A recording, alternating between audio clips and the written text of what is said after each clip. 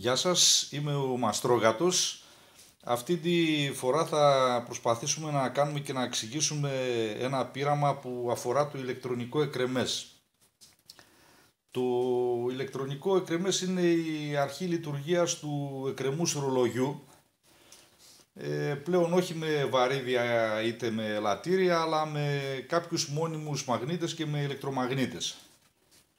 Ε, αποτελείται από ένα κινητό στέλεχος που θα κάνει την πανιδρομική κίνηση ε, στο οποίο στην άκρη του έχει ενσωματωθεί μια συστοιχεία από μαγνήτες. Οι μαγνήτες είναι αυτού του τύπου. Το συγκεκριμένος είναι 4 χιλιοστά πάχος επί 18 χιλιοστά διάμετρο. Έχουν μπει τρία μαγνητάκια εδώ κάτω και σαν σταθερό τέλεχος υπάρχει ένα ποινίο εδώ πέρα το οποίο σαν ηλεκτρομαγνήτης που γίνεται μόλις διαρρέεται από ρεύμα θα αποθεί, θα έλκει το μαγνήτη αυτό. Η συνδεσμολογία είναι τέτοια ώστε να τον αποθεί όταν περνάει από μπροστά. Ε, μάλιστα πρέπει με κάποιο τρόπο να προσπαθήσουμε η όθηση να δίνεται τη στιγμή που περνάει αυτό από μπροστά για να το σμπρώχνει προς τα πέρα. Ομοίως όταν γυρνάει πάλι να το σμπρώχνει προς την άλλη πλευρά. Ε, αυτό γίνεται με κάποιους ειδικούς διακόπτες, είναι τα read switch αυτού του τύπου ή κάτι πιο μικρά όπως έχω βάλει εδώ, όπως είναι αυτό εδώ. Το read switch έχει τοποθετηθεί σε αυτό το σημείο στο ποινίο, μπορείτε να το δείτε και από κοντά. Έτσι, εδώ πέρα. Ε, και γενικά πρέπει να είναι κοντά στο ποινίο. Αυτό τι κάνει είναι ένας διακόπτης με δύο λαμάκια μέσα που μόλις πλησιάσει ένας μαγνήτης είτε ηλεκτρομαγνήτης είτε φυσικός εκεί κοντά εφάπτονται τα λαμάκια στο ένα το άλλο από την έλξη του μαγνήτη και περνάει το ρεύμα. Ο ηλεκτρομαγνήτης στο ποινίο μας είναι συνδεμένο με την πηγή ρεύματος μέσω του διακόπτη αυτού. Επίσης ε, υπάρχει ένα μικρό πρόβλημα καθότι όταν κατεβαίνει αυτό και πάει να περάσει ρεύμα στην αρχή θα το αποθεί. Ε, σκοπός μας είναι να μπορέσει να περάσει από μπροστά έτσι και μετά να το αποθήσει. Ομοίως από εδώ να περάσει από μπροστά και μετά να το αποθήσει ώστε η αποθητική δύναμη να μην μας το φρενάρει στην αρχή. Ε, αυτό γίνεται με κάποιο ηλεκτρονικό κύκλωμα, με κάποιο πυκνοτή που χρησιμοποιείται σαν απορροφητήρας. Ε, για να δούμε τώρα το κύκλωμα αυτό από κοντά.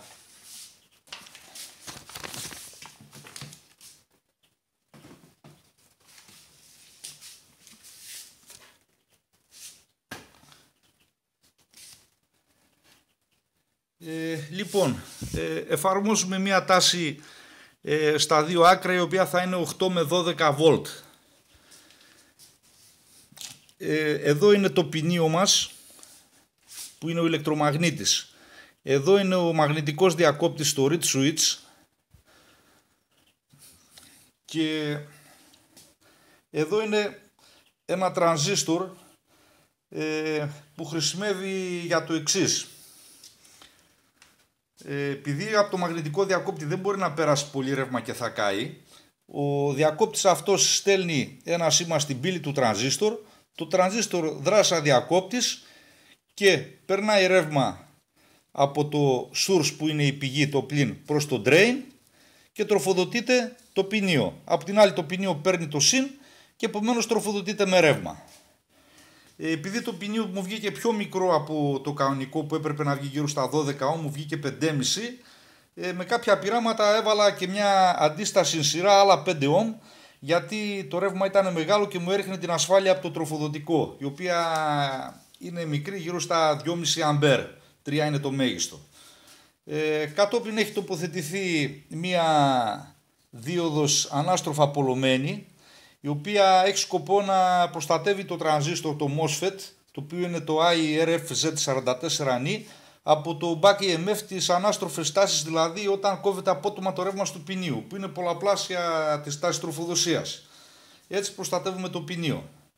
Ε, ο πυκνοτής που είπαμε είναι εδώ πέρα, έχει χρησιμοποιηθεί μια συστοιχεία από δύο πυκνοτές από 6-800 μικροφαρά το καθένας, στα 25 volt είναι παράλληλα με το ποινίο ώστε μόλις εδώ στο εκρεμές πλησιάζει από εδώ ας πούμε έτσι πλησιάζει το σένσορα δίνει εδώ ο σένσορας διακόπτης ρεύμα απορροφά προς στιγμή το ρεύμα ο πυκνοτής Μόλις το απομακρύνουμε και κουπεί το ρεύμα στο ποινίο, διοχετεύεται το ρεύμα μέσω του πυκνοτή στην νομική αντίσταση του ποινίου, μετατρέπεται σε ηλεκτρομαγνήτη και το σμπρώχνει. Ομοίως όταν γυρνάει.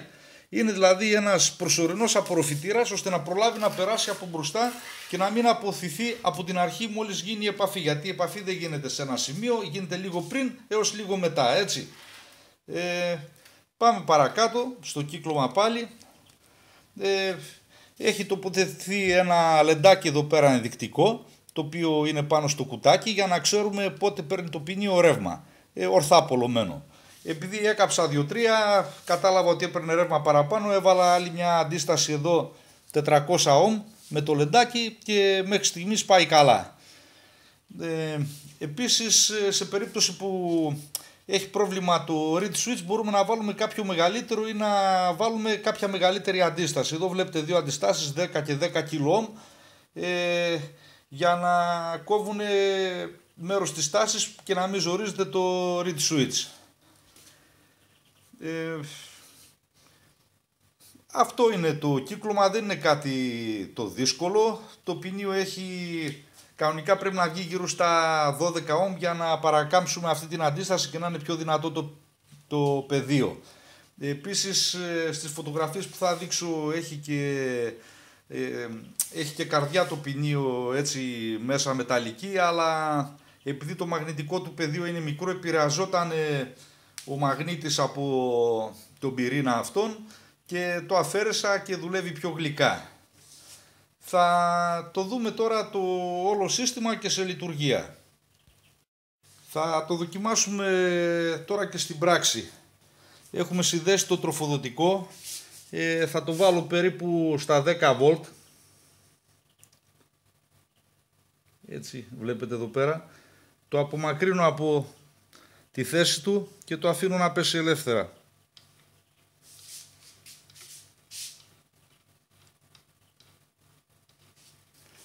Ε, βλέπετε το λεντάκι που αναβοσβήνει που δείχνει πότε περνάει ρεύμα. Το αμπερόμετρο, το δεξιό όργανο που παίζει μόλις περνάει από μπροστά. Το βολτόμετρο δείχνει γύρω στα 8 βολτ η κίνηση βλέπουμε ότι είναι συνεχής και διατηρείται όσο έχουμε τροφοδοσία με ρεύμα με αμύωτο το πλάτος ταλάντωσης.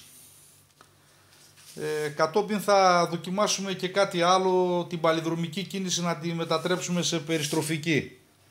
Χαμηλώνω τώρα το ρεύμα. Ε, βλέπετε μικραίνει και το πλάτος ταλάντωσης μέχρι το εκρεμές να σταματήσει εντελώς.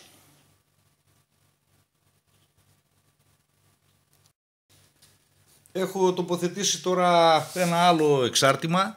Είναι συμμετρικός προς το κέντρο έχει στην άκρη από τρία κυκλικά μαγνητάκια, ε, αυτά που σας είπα 18 χιλιοστά διάμετρο επί 4 στο πάχος, τρία από εδώ και τρία από την άλλη και κάποια αντίβαρα από κάποια μεταλλικά παξιμάδια από βίδες ε, για να έχει κάποια αδράνεια κατά την περιστροφή. Θα αριθμίσω το τροφοδοτικό γύρω στα 10 volt πάλι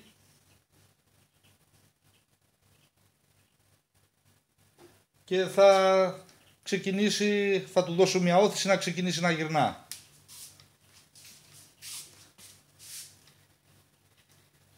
Βλέπετε το λεντάκι ανάβει. Το αμπερόμετρο δεξιά δείχνει ότι κάθε φορά που περνάει αυξάνει η τάση ή η ένταση.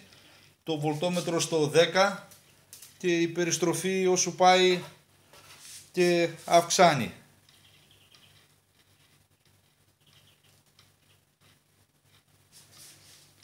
η κίνηση μεταδίδεται αμύωτη και αν σηκώσουμε και λίγο την ένταση αυξάνεται και περισσότερο. Αυξάνουμε την τάση στα 12 περίπου, την κατεβάζουμε στα 10, πάμε στα 8 και κατόπιν αν την κλείσουμε εντελώς σταματάει το LED και η κίνηση σιγά σιγά θα σταματήσει. Αν την ανοίξουμε βλέπετε επιταχύνει μόλις έπιασε τα 8 βολτ την ξανακλίνω πάλι. Έτσι μετατράπηκε η κίνηση από κυκλική από παλινδρομική σε κυκλική ε, μπορούμε να βάλουμε και ένα δεύτερο βραχείο να σταυρωτώ εδώ και ένα τρίτο ώστε να δίνεται συνεχώς ε, όθηση κάθε, όχι 180 μοίρες, αλλά κάθε 60 ε, παράδειγμα ή και περισσότερο, ώστε να έχουμε περισσότερη ενέργεια να δίνεται πιο συχνά από το ποινίο και να έχουμε γρηγορότερη περιστροφή και πιο σταθερή. Τελειώνοντας να αναφέρω ότι είναι ένα πείραμα πολύ απλό. Μπορεί να το κάνει κάποιος που ξεσκαλίζει στο σπίτι με τέτοιου είδους υλικά και είναι η αρχή λειτουργίας του ηλεκτρονικού εκρεμούς. Τα εξαρτήματα είναι αρκετά απλά, έτσι είναι αυτοί οι σένσορες που είπαμε, κάποιοι κυκλικοί μαγνήτες, ένα ποινίο που το κάνουμε με ποινιόσυρμα και τα υπόλοιπα είναι αντιστάσεις και πυκνοτές ε, δεν ανάγκη να αντιγράψουμε ένα σχέδιο ακριβώς, ανάλογα με τις ε, απαιτήσεις μας και τις ε, ανάγκες και ιδιαιτερότητες των εργαλείων μας, με μικρές αυξομοιώσεις στα διάφορα εξαρτήματα, το προσαρμόζουμε και το κάνουμε να λειτουργεί ε, στα πλαίσια τα δικά μας. Ε, πολλοί με ρωτούν ποια είναι η πρακτική σημασία από αυτό ή κάποια ανάλογα πειράματα. Ε, αυτό που δείχνω στα βίντεό μου είναι η εξήγηση κάποιων συσκευών ε, που φαίνονται λίγο περίεργες και πολύπλοκες με απλούς νόμους της φυσικής. Ε, από εκεί και πέρα ο καθένας ανάλογα με τις απαιτήσεις που έχει και για το που θέλει να χρησιμοποιήσει την κάθε συσκευή μπορεί να κάνει κάποιες τροποποιήσεις ε, ώστε να τη φέρει στα μέτρα του. Σας ευχαριστώ που παρακολουθήσατε αυτό το βιντεάκι. Ελπίζω να σας φάνηκε ενδιαφέρον, μπορείτε να το δοκιμάσετε, να το κάνετε και μόνοι σας. Ε, σας χαιρετώ, θα τα ξαναπούμε σε επόμενο βίντεο.